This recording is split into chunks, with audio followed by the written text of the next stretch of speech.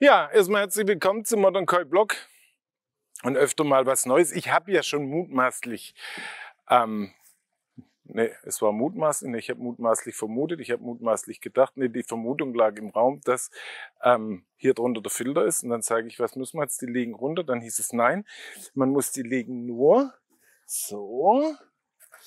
Und so, und glauben Sie mir, ich habe den Filter, mir wurde er nicht erklärt, ich habe ihn nicht gesehen. Wir machen das jetzt alles live on stage und dann irgendjemand hat sich nach da hinten verkrümelt. Und dann hat irgendjemand was von elektrohydraulisch gesagt. Vorher waren wir elektropneumatisch. Okay, das wird ein 90-Minuten-Video heute. Ach, ich habe jetzt gedacht, das geht im Gesamten hoch, aber das klappt nur und drum die Stühle. Ah! Also so leise wie die Abdeckung aufgeht, können sie von Oasis sein, oder? Wenn ich morgen im Büro bin, stehen da überall Rosen und Blumen und Danke und so. Also Sie sehen, das ist das erste Mal im Blog, dass Sie vor mir sehen, wie der Filter aussieht. Langweilig. Gibt's die Abdeckung, die Öffnung der Abdeckung auch für Menschen mit ADHS? So.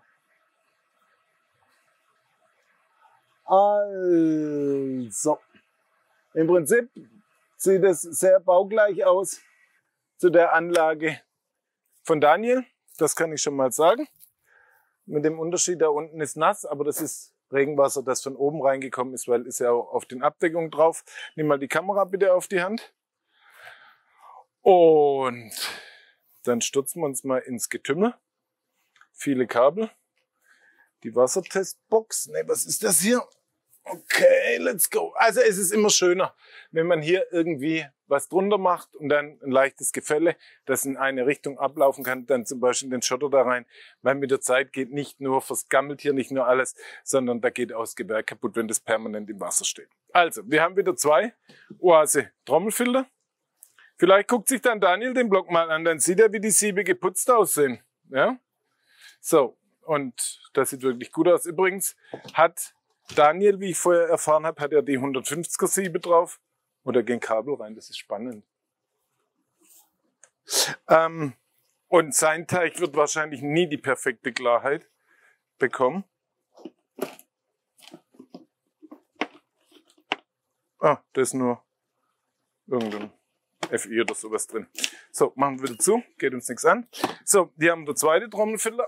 Der geht so rum auf und der ist genauso schön sauber. Und man sieht auch, der ist schon einige Jahre im Einsatz. Wir kommen auf beide, auf den hier ne, drei und hier auch mit drei. Also wir kommen mit sechs Verbindungsleitungen vom Teich an. Das ist mehr als ausreichend.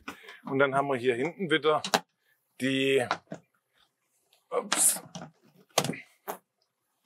das sagen sicher manche, und jetzt weiß ja nicht mal, wie diese Oasefilter zugehen. Ähm, hier hinten haben wir wieder die Biologie. Hier haben wir die bewegte Biologie mit unterirdischen UV-Lampen. Also da muss ich mittlerweile nach 30 Jahren nicht mal mehr nach einem Produkt, nach einem Namen, nach sonst irgendwas gucken. Das ist einfach billigstes China-Zeug, wirklich allerbilligstes. Das ist unterste Schublade.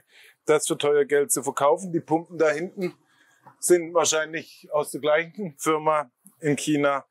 Ähm, wenn Sie wüssten, wie billig das Zeug ist, ich sage Ihnen mal eins ganz ehrlich, es gab mal eine Pumpe, die wurde in Deutschland auf den Markt gebracht von einer chinesischen Firma. Die wurde dann hier für circa 500 Euro verkauft. Und ich habe gesagt, das kann nicht sein. Das ist der Wert niemals von der Pumpe. Dann habe ich die Kennlinie genommen und habe die Werte gegoogelt, gemacht, getan. Dann bin ich auf einen amerikanischen Online-Shop gekommen. Jetzt erfahren Sie was, das habe ich im Blog noch nie verraten. Wissen Sie, was die Pumpe nachher gekostet hat? In Amerika in US-Dollar, aber von einem Händler, der sich an privat gerichtet hat, 30 US-Dollar. Was in Europa für 500 Euro verkauft wurde. Da sind wir genau in der Kategorie. Die Menschen sind dumm, die haben keine Ahnung, sind vielleicht auch schon in Rente, wollen sich was Schönes gönnen. Und denen nehmen wir jetzt richtig die Kohle ab hört bei mir der Spaß auf. Da bin ich ehrlich. Und hier haben wir dann das gleiche nochmal. Und jetzt haben wir ähm, im Prinzip, also wenn hier, wenn hier 50 Liter Helix-Filtermaterial drin ist, dann ist es viel. Das ist viel zu wenig. Ähm, und das ist jetzt aber, was ich vorher gesagt habe. Das wurde zwar von Sascha gebaut, aber nach Planung eines seiner Hersteller, Schrägstrich Lieferanten, Schrägstrich Großhändler, Schrägstrich keine Ahnung, verrate ich nicht. Also er hat es selber nicht. Er hat im Prinzip nur für den Bau geguckt, seine Verrohrungen sind vielleicht hier und da ein bisschen zu klein, das ist, kann man verbessern, aber er verbaut sehr sauber, aber die Dimension und die Produkte selber stammen nicht von ihm. Also das ist nochmal exakt das Gleiche. Wenn also die Anlage mit 50.000 Liter hier ähm, Jetzt muss ich rechnen. In so kleinen, mit so kleinen Prozentzahlen rechne ich normal nicht.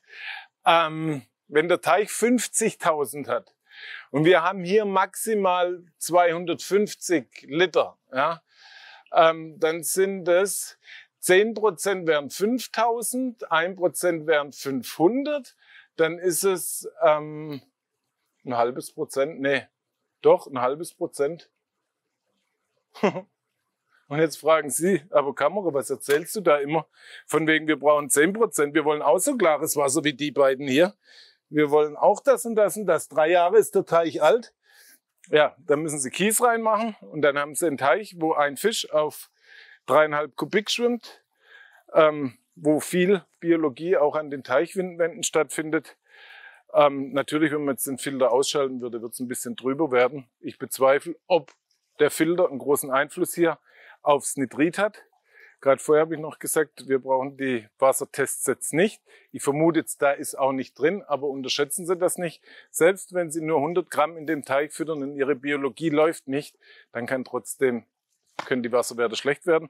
Bei Daniel vorher haben wir gemessen, obwohl er heute noch nicht gefüttert hat und auch den Kies drin hat, war das Nitrit bei 0,27. Viel zu hoch. Eigentlich für die Koi verträgt's, aber die Anlage ist auch noch jung, aber langfristig sollte die Anlage des Morgens, wenn nicht gefüttert wird, auf jeden Fall unter 0,1 halten. Es gibt auch Teiche, die da persistiert das Nitrit bei 0,15 oder 0,2. Das ist möglich, ist jetzt auch keine absolute Katastrophe, aber der Normalfall ist es nicht. So, jetzt haben wir den Filter auch gesehen. Wir brauchen da jetzt auch nicht auf die Details eingehen. Ich kann Ihnen auch sagen, ähm, hier sind noch andere Teile verbaut, ähm, wo, wo ich ehrlich sagen muss, das ist nicht State of the Art und wahrscheinlich auch nicht ähm, preislich das, nee, qualitativ nicht das, was der Preis vorgaukelt, dass es qualitativ zu sein scheint. Ähm, interessant finde ich, dass mit Oase ein Premium-Produkt, Trommelfilter und dann mit allem anderen da drumherum gebastelt wird. Interessant. Aber das ist jetzt nun so. Ähm, der Teich ist klar. Aber bevor ich jetzt den Teich mit der doppelten Menge Fisch besetzen würde, würde ich erstmal hier nochmal schauen, ob man da optimieren könnte. Vielen Dank für Ihr Interesse und vielen Dank an Evelyn und Max, dass wir hier bloggen durften. Machen Sie es gut und bis zum nächsten Mal.